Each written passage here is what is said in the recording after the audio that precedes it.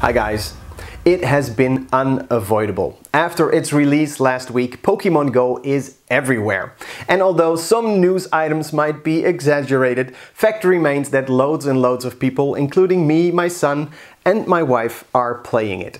Pokemon Go is a game for your mobile device, where you create an avatar and hit the road outside in the real world until you stop and try to capture a virtual Pokemon. Train him, evolve him, fight other Pokemon in a virtual gym. The cool thing about this game is that you can find a Pokemon egg and that you really need to walk 2 or 5 kilometers to hatch it. My son tried to teach me the Pokemon collectible card game this week, but I could not really recommend it, so I tried to teach him a game.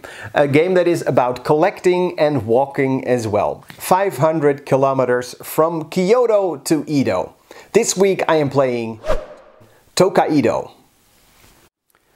In Tokaido, you choose your avatar and hit the road. The board depicts the virtual route with its 53 stops from the old days, from Kyoto to Edo.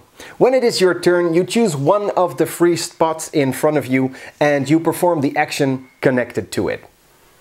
The person who is behind on the track can do as many stops as he wants until he is no longer in last place. Most of the stops lets you collect things.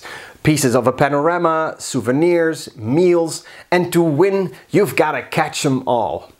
The game is great for families and I recommend it for people who just started gaming. Not too hard, but beautiful and fun. And if you own the Deluxe Collector's Edition, a real eye-catcher. I recommend Tokaido. My name is Dave Luza.